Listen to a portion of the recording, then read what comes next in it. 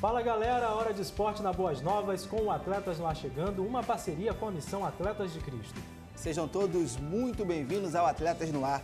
Hoje a gente mostra as emoções do Campeonato Brasileiro com mais uma vitória do líder Corinthians. É, mas o futebol não foi só alegria não. Teve muita confusão depois do jogo entre Vasco e Flamengo, dentro e fora de São Januário. E também no domingo, antes do duelo de Botafogo e Atlético Mineiro no Engenhão. Mas vida que segue. No vôlei, o Brasil esteve muito ativo no fim de semana, tanto na quadra quanto na areia. E hoje tem uma matéria emocionante sobre um lutador de jiu-jitsu muito especial. Tudo isso e muito mais você confere a partir de agora no Atletas no Ar, sua resenha esportiva de todas as semanas. É, meu amigo Thiago, como diz o ditado, em time que está ganhando não se mexe. E a gente convoca então Marcos Grava para trazer o tradicional resumo das atividades dos atletas de Cristo. A bola está com você, Marcão. Olá, amigos da TV Boas Novas, programa Atletas no Ar. Aqui é Marcos Grava, presidente da missão Atletas de Cristo, em mais um boletim especial a respeito da nossa missão.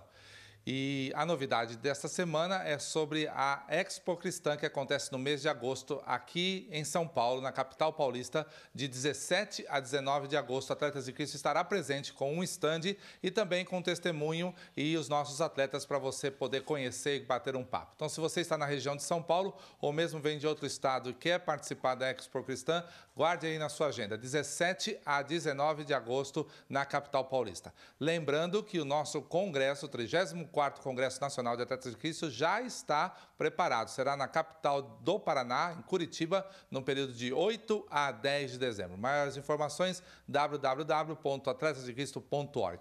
É isso aí. Voltamos na próxima semana com mais um boletim Atletas no Ar. Muito obrigado, meu amigo Marcos Grava. O assunto agora é vôlei. A França derrotou o Brasil em Curitiba e faturou a Liga Mundial de Vôlei 2017. O raio caiu pela segunda vez no mesmo lugar, no caso, o Brasil sendo derrotado pela França. Foi a segunda vez que o time europeu conquistou a Liga Mundial e ambas foram aqui no Brasil. Nesta edição, a fase final foi disputada na Arena da Baixada, o estádio de futebol do Atlético Paranaense. Foi um duelo muito equilibrado, decidido no tie-break, mas no final os franceses seguraram a pressão do outro lado da rede e também dos mais de 23 mil torcedores e venceram a final por 3 sets a 2, parciais 21-25, 21-15, 25-23, 19-25 e 15-13. Para o técnico brasileiro, foi uma derrota por pouco. Foi decidido nos detalhes, realmente, e, e, infelizmente, na reta final, eles conseguiram ter mais eficiência aqui o time do Brasil, inclusive com uma bola defendida, voltando para a quadra brasileira, ali comprometendo também o tie-break, enfim. Foram detalhes que aconteceram que a gente vai ter que ver, rever e trabalhar em cima disso. Além do título, Irvan Ngapé foi eleito o MVP da Liga Mundial, isto é, o melhor jogador da competição. Considerado um bad boy, foi até humilde ao falar da vitória francesa e fez coro às palavras do técnico brasileiro. Esse jogo foi sobre detalhes. A diferença entre os times é muito pequena. Tivemos sorte, porque hoje esses detalhes foram a nosso favor. Para mim, o Brasil é o melhor time do mundo. Todos os jogadores são líderes. Não é fácil vencer no Brasil. O Brasil encerrou a Liga Mundial com nove vitórias em 13 jogos. Mesmo com o revés na final desta edição, a seleção segue como a maior vencedora da Liga Mundial. São nove títulos, o último deles conquistado em 2010. Ainda falando em vôlei, mas agora na praia, no circuito mundial, as duplas masculinas brasileiras disputaram o terceiro lugar no Major Series da Suíça. A atual dupla campeã brasileira Álvaro Filho e Simon ficou com o bronze da etapa de Gestad depois de vencer Evandro e André Stein por 2 sets a 0. O terceiro lugar deu 720 pontos para Alvinho e Simon no ranking geral do circuito mundial, além de um prêmio de 20 mil dólares.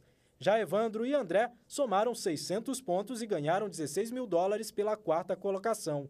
O título ficou com os americanos Dalhauser e Lucena. No feminino, o Brasil ficou com a prata na Suíça. Larissa e Talita foram derrotadas na final. Larissa e Talita foram superadas pelas alemães Laborô e Sud por 2 sets a 0. na final do Major Series de Gstad na Suíça. Mesmo com a derrota, as equipes nacionais contabilizam 15 medalhas na temporada. E o pódio do fim de semana mantém Larissa e Thalita na liderança do ranking do Tour Internacional. As brasileiras receberam 32 mil dólares de premiação pelo segundo lugar e somaram 960 pontos no ranking, chegando aos 3.800 na liderança geral, que soma todas as etapas. A medalha de bronze ficou com as canadenses Sara Pavan e Melissa Paredes. O fim de semana também teve decisão da terceira etapa da temporada 2017 do Circuito Brasileiro Challenger. A etapa foi disputada na capital do Tocantins, Palmas. No feminino, a dupla Tainá e Rebeca ficou com a primeira colocação, depois de bater na final Isabel e Raquel. Andressa e Andressa ficaram em terceiro. No masculino, Gilmário e Moisés subiram no topo do pódio, seguidos por Vieira e Jô, e Miguel e Ramon Gomes, na terceira posição. A quarta e última etapa do Challenger 2017 acontece no Rio de Janeiro, de 9 a 12 de agosto. Chegou a hora de acelerar no programa. Depois de algumas provas bem disputadas, cheias de polêmicas, o GP da Áustria de Fórmula 1 foi um passeio de Valtteri Bottas. O finlandês largou na pole e não foi incomodado ao longo das 71 voltas do circuito de Spielberg. Pois é, lá na frente foi tranquilo, mas um pouco atrás, Fernando Alonso e Max Verstappen já abandonaram a prova logo na primeira volta. Houve diversas trocas de posições nessa primeira parte da corrida, mas a emoção ficou por aí. Sebastian Vettel ficou em segundo lugar e Daniel Ricciardo completou o pódio. O vice-líder da temporada, Lewis Hamilton, largou em oitavo e terminou em quarto lugar. Felipe Massa foi o nono. Vamos então ver como está a classificação. Sebastian Vettel conseguiu aumentar sua vantagem na liderança. Tem agora 171 pontos, 20 a mais que o vice-líder Lewis Hamilton. Valtteri Bottas é o terceiro com 136 pontos. Daniel Ricardo é o quarto, 107 pontos, seguido por Kimi Raikkonen com 83 e Sérgio Pérez com 50. O brasileiro Felipe Massa é o décimo com 22 pontos. Virando a página, temos o Mundial de Construtores. A Mercedes lidera com 287 pontos. A Ferrari é a segunda colocada com 254. A RBR está em terceiro, 152 pontos. A Force India é a quarta, 89. E fechando o top 5, vem a Williams, com 40 pontos até aqui. Pessoal, a gente vai fazer uma pausa, mas na volta a gente vai mostrar a história de um cara que é um verdadeiro campeão, Ebert, aqui no esporte e também na vida. E também as conquistas paralímpicas no Mundial de Golbol de Jovens. É daqui a pouco, não sai daí.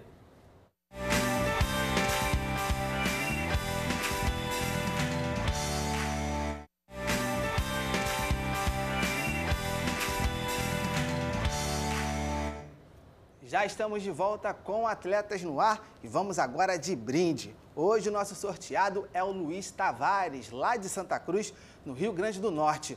Nosso amigo Potiguar está sempre curtindo os nossos vídeos no Facebook, interagindo com a gente pelas redes sociais e também merece um brinde, além, é claro, de um nosso abraço. Luiz, a gente vai entrar em contato com você pelo Facebook, meu irmão. Você vai ganhar, vou até pegar aqui, ó, esse boné show de bola do Atletas no Ar e também um CD muito bacana que vai te ajudar muito aí no seu dia a dia, irmão. Muito obrigado. Isso aí, obrigado, Luiz. Você pode participar também dos nossos sorteios. Basta acessar o facebook.com.br atletas no ar, pode ser também pelo e-mail atletasnoar@boasnovas.tv ou ainda pelo WhatsApp DDD 21 97986 4957.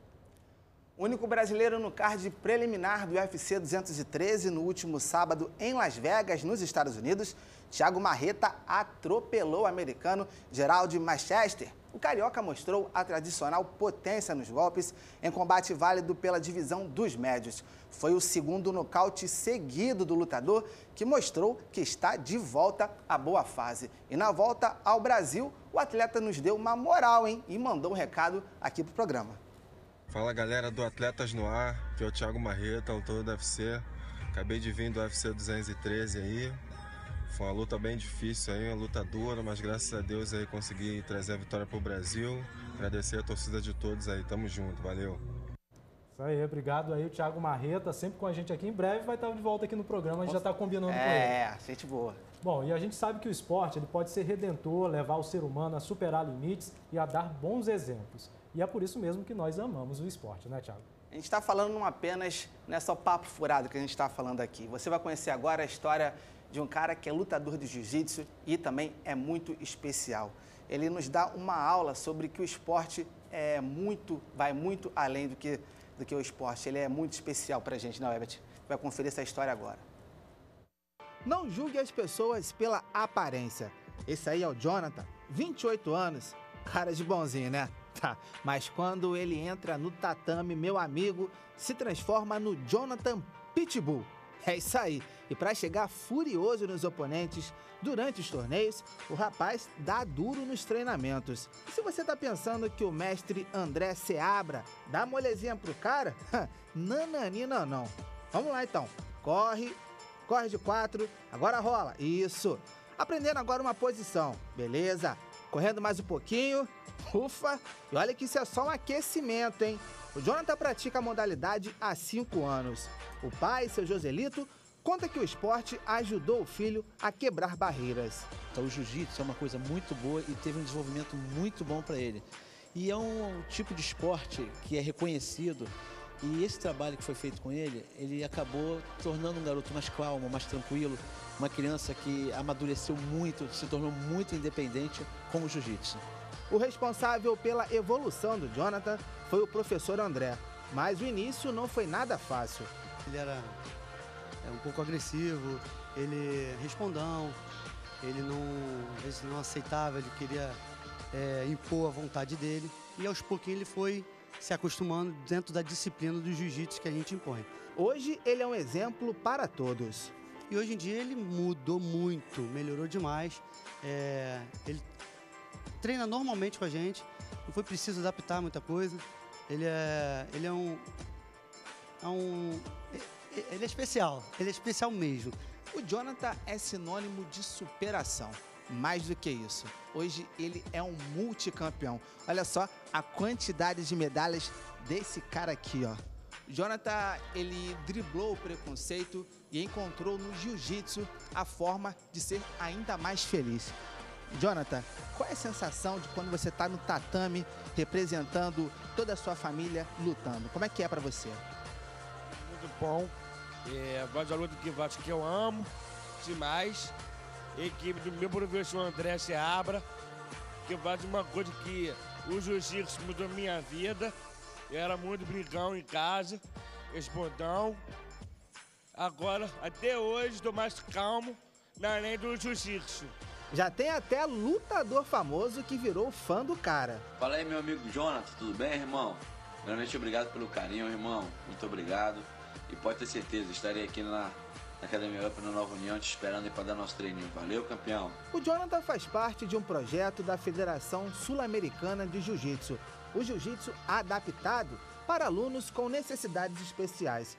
Quem coordena é o próprio mestre André. A SAF foi pioneira assim, nisso, é, investindo nesse projeto né, de inclusão. Né? Nós mostramos para todo o público é, e para os atletas em si que o jiu-jitsu é para todos. Viver em espaços cada vez mais abertos às diferenças é fundamental para que eles possam se desenvolver com valores éticos a partir do que eles são e não como deveriam ser. Uma baita lição para a nossa famigerada coletividade. O orgulho da família toda, né, dos amigos que, que nos cercam, nós temos um orgulho muito grande por ele ser essa criança tão especial e pelo que ele desenvolveu dentro, da, dentro do jiu-jitsu. O mundo me apoia. André Seabra, e o único meu professor que eu gosto muito, ele é meu orgulho, sou orgulho dele também. E vamos que vamos na frente. Oi! Eu, moleque. Ah, que história. O Brasil teve conquistas importantes no Mundial de Jovens de Goalball na Hungria. A equipe feminina venceu a Alemanha em um jogo de poucos gols. As brasileiras fizeram 2 a 0 no placar para subir ao pódio na terceira posição com o bronze no peito. Hora, hora, mais tarde foi a vez do time masculino entrar em quadra para a disputa do título mundial, mas a equipe foi superada pelos Estados Unidos por 7 a 3, ficando com a prata. Os dois times do Brasil, masculino e feminino, tiveram as bases formadas nas Paralimpíadas Escolares 2016, que foram disputadas em São Paulo. E faltando poucos dias para começar o Campeonato Sub-17 de Handball de Areia, a Confederação Brasileira da Modalidade cancelou a participação do Brasil no Mundial Juvenil para a indignação de muitos atletas que estavam se empenhando há meses para competir. Dois deles, da seleção, conversaram com Atletas no Ar sobre o assunto polêmico. Renata e Tiago, atletas da Seleção Brasileira de Handball de Areia, viram o sonho da competição acabar antes mesmo de ter começado. A gente vem desde o começo do ano fazendo a nossa preparação, tanto física, é, visando o World Games e surpreendentemente, é, sem nenhuma explicação, a gente acaba sendo é, avisados de que esse sonho está terminando, né? A Confederação Brasileira de Handball decidiu cancelar a participação das seleções brasileiras juvenis de areia no Mundial, que aconteceria esta semana, alegando falta de verba. Os atletas estavam treinando desde janeiro, porém o aviso apenas foi feito às vésperas do campeonato. Foi um baque muito forte. A gente demorou para entender muito bem o que estava acontecendo. Inicialmente a gente achou que não tivesse nenhuma solução mas a, a gente resolveu lutar por isso, batalhar pelo esporte, porque o que está acontecendo pode simplesmente acabar com uma geração de campeões aqui no nosso país, na modalidade, e acabar com a modalidade. Segundo informações, foram publicados documentos indicando fraudes de 6 milhões de reais em licitações assinadas pelo presidente da Confederação Brasileira de Handebol além de outras denúncias, como auditorias de patrocínios estatais que apontavam 800 mil reais sem notas fiscais. Tiago e Renata tentaram buscar ajuda ao ministro do Esporte para tentar resgatar o campeonato World Games, que aconteceria no final deste mês na Polônia. Porém, este foi apenas o primeiro passo para uma longa caminhada. O apoio ele vem de todas as partes e a gente é, não só dentro de quadra, mas fora de quadra, a gente precisa da ajuda agora não só com a torcida, mas também com, com a parte financeira, infelizmente, que é para estar tá custeando essa aí. Eu sei que a gente pode contar com o povo brasileiro. O Brasil é quatro vezes campeão mundial da modalidade na categoria masculina e feminina. Mas com o cancelamento, é possível que o handball perca briga pela classificação nos Jogos Olímpicos da Juventude em 2018. Para Tiago e Renata, o sonho não acaba aqui. A esperança e a luta devem continuar. No nosso esporte não existe favorito, a gente costuma dizer. E nesse caso a gente está brigando contra alguém mais forte, mas vai funcionar, a gente tem certeza. Isso que a gente está falando não é não é um momento, e sim é uma história. Né? Estão cortando é, é uma história pela, pela, pela metade. Somos atletas e somos brasileiros, né? Então esse é o grande lance. A esperança é a última que morre. E a gente vai lutar até o fim. Vamos fazer uma pausa e na volta tem Campeonato Brasileiro. É, o Corinthians venceu de novo e tem nove pontos de vantagem na liderança. O Flamengo é o novo vice-líder. A gente mostra isso daqui a pouco.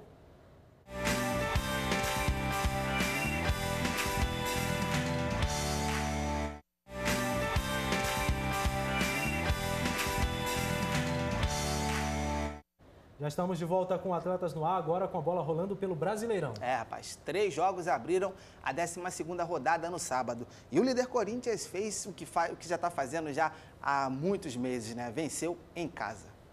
O Timão continua atropelando os adversários. Em Itaquera, a vítima da vez foi a Ponte Preta. Jadson recebeu e marcou o primeiro do Corinthians. Rodriguinho encontrou Jô livre na área e o atacante finalizou com tapa de esquerda. Cássio ainda pegou pênalti de Luca e segurou a reação da macaca, 2 a 0. No confronto entre integrantes do Z4, melhor para o Vitória, que derrotou o Atlético Goianiense. Leiton Xavier rolou para André Lima completar para o fundo das redes. O Dragão empatou com o Andrigo em chute forte. A vitória do time baiano saiu dos pés de William Correia, que fuzilou o gol de Fernando Miguel, 2 a 1. Um dos duelos do sábado foi Vasco e Flamengo, um dos maiores clássicos do país. Mas a partida de sábado ficou marcada não pelo bom futebol, mas sim pela selvageria de maus torcedores, se é que podemos chamar essas pessoas de torcedores, né?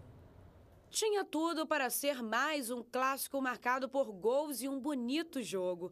Mas o Flamengo e Vasco, deste sábado pelo Brasileirão, teve como destaque a violência em São Januário, estádio do Vasco da Gama. Uma pessoa foi morta e três ficaram feridas durante confrontos que aconteceram dentro e fora do estádio. O clima já estava alterado no intervalo do primeiro para o segundo tempo. Torcedores vascaínos lançaram objetos na torcida rival. A polícia conteve, mas foi ao fim da partida que terminou com 1 a 0 para o Flamengo, com gol de Everton, que a tensão piorou. Dentro do estádio, torcedores vascaínos lançaram objetos no gramado e tentaram invadir o campo. Bombas de efeito moral foram utilizadas para dispersar a multidão. Fora de São Januário, um grupo de torcedores do Vasco atacou militares. Durante o confronto, Davi Rocha Lopes, de 27 anos, foi atingido por um tiro no peito e já chegou morto ao Hospital Souza Guiar. Mais três pessoas ficaram feridas e foram encaminhadas para a unidade hospitalar. Eles estão fora de risco. A divisão de homicídios da capital busca agora câmeras de segurança que auxiliem na investigação de onde partiu o tiro que matou Davi. Quem pode ser penalizado pelo incidente é o próprio Vasco da Gama. O clube pode sofrer punições previstas no Código Brasileiro de Justiça Desportiva, além de outras ações. Além do Ministério Público, o clube também pode ser alvo de ação do Superior Tribunal de Justiça Desportiva. O órgão deve analisar as imagens e pedir a interdição, que neste caso duraria até o julgamento no Tribunal Esportivo. Lamentável, né? No domingo teve clássico paulista Sansão, melhor para o Santos. Destaque também para a vitória do Havaí sobre o Grêmio, no Rio Grande do Sul, com tarde inspirada do goleirão Douglas, do time catarinense. Olha, antes de narrar os gols da vitória do time catarinense, vamos começar falando das defesas do goleiro Douglas, do Havaí. Rapaz, o cara freou uma enxurrada de chances do tricolor com puro reflexo e agilidade. Pegou até pênalti que ele inteligentemente permaneceu no centro do gol. Se na defesa o Paredão estava dando conta, no ataque Simeão ajeitou com a canhota e bateu com extrema categoria. Bonito gol. Júnior Dutra pegou a bola lá de trás, foi avançando, tabelou com William e bateu tirando do goleiro. 2 a 0 Havaí. Já no clássico Sansão da rodada, na Vila Belmiro, o protagonista foi o colombiano Copete. Inspirado, o jogador comandou o ataque santista. Depois do chute de Kaique, Renan deu rebote e Copete estava lá para marcar. Em rápido contra-ataque, Kaique levantou na área e Copete cabeceou para o gol. Jean Mota passou bonito pelo marcador, cruzou e Copete, de novo ele, emendou de voleio. São Paulo poderia ter feito o primeiro gol de pênalti, mas Lucas Prato bateu na trave. No lance seguinte, Shailon, enfim, balançou a rede de Vanderlei. E após confusão na área, Arboleta marcou para o tricolor. Porém, a reação parou aí, 3 a 2. No dia do aniversário do goleiro palmeirense Fernando Praz, quem fez a festa foi o Cruzeiro, amigo. Thiago Neves recebeu de Alisson e quase sem ângulo bateu na saída do goleirão. Lucas Romero arriscou de fora da área, Hudson desviou de cabeça e matou o Fernando Praz. O Verdão diminuiu com William, aproveitando o cruzamento de Roger Guedes. Nos acréscimos, Elber invadiu a área e chutou rasteiro. Praz deu rebote, mas o próprio Elber marcou o gol. 3 a 1 Raposa. Botafogo e Atlético Mineiro, no Engenhão, teve o retorno do goleiro Jefferson, que fez uma partida brilhante. No gol do Galo, ele só não pegou o chute de Marlone porque a bola desviou em Emerson Silva. Daí para frente foram só defesas dificílimas. Até pênalti de Rafael Moura, o arqueiro do Glorioso pegou. Nos acréscimos teve também penalidade para o Botafogo. Vitor acertou o canto, mas não segurou o rebote nos pés de Roger, que guardou 1 a 1. O Bahia recebeu o Fluminense na Fonte Nova. Lucas cruzou, Dourado tentou de letra, mas foi o Wellington Silva quem desviou para o gol. 1 a 0 Flusão. O tricolor baiano empatou nesse chutaço de João Paulo. 1 a 1. Chapecoense e Atlético Paranaense na Arena Condá. Sid Clay cortou Seiras e bateu cruzado. 1 a 0 Furacão. Após falta cobrada por Reinaldo, Lucas Marques soltou a bomba e acertou um belo chute. 1 a 1 placar final. Pois é, torcedores do Botafogo e Atlético Mineiro brigaram do lado de fora do Engenhão pouco antes do início do jogo. Segundo a polícia, 13 bandidos foram detidos. Membros de uma gangue sem identificação nas camisas eh, teriam feito uma emboscada quando torcedores do Galo esperavam para entrar no estádio. O torcedor do Botafogo ficou ferido. E completando a rodada, o esporte goleou o Coritiba na casa do Coxa. A partida começou lá e cá, com ótimas defesas dos dois goleiros, mas só Magrão saiu zerado. O Wilson não pôde fazer nada quando Mena apareceu sozinho para marcar na bola que sobrou dentro da área. É, também não deu para o arqueiro neste chute de primeira de Rogério. Mas o Wilson de novo tocou na bola, olha só. Mas quando o fogo é amigo, aí não tem como, né, o Alisson Maia? O esporte agradece. 3 a 0. Valeu, pessoal. Até semana que vem, hein? Tchau. Tchau, um abraço.